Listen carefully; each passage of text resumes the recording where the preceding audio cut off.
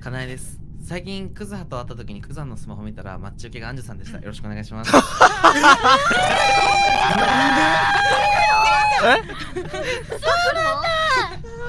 やべえよ。いや弁解の余地は最後まで取っておく。最後？自分のが来るからねちゃんと。ギスギスしてきた。人道かよこと？私ら利用されたんちゃうか。マジか。利用されたって何？本当は私たちが二人で遊ぶためのやつですねこれ。いやちょっと今誰でいいていいっすよ今んとこそれが椎名から出るのか。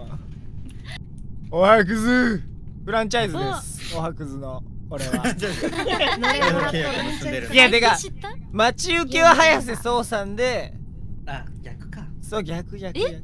ロック解除しロたらック解除したらアンジュさんなんですよそうそうえ二股ってことです違う違う違う違う違う。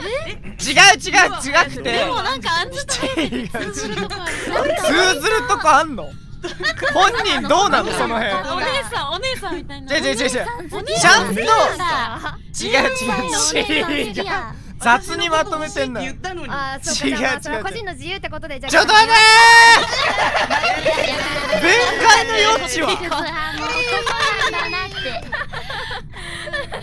ってやるじかじゃあ10秒くらい10秒くらいで。うん。ちなみになんでそなんでそれにしたの？って言ったら突待ちでもらってなんかもらったのに使わないの申し訳ないから。いやそうだよ。そうにそうだよ。いいやつだな。そうだいいやつ。だないいやつ。